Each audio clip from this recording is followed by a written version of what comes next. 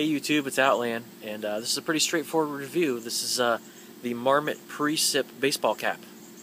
Now it's uh, pretty simple, straightforward. Like I said, uh, this is the uh, Marmot Precip cap. It's made out of the same material as the Precip jacket. Has the Marmot logo on the back there. Um, has a mesh liner. I don't know if you can see that or not, but uh, it's uh, you know one size fits all. It's got a Velcro back.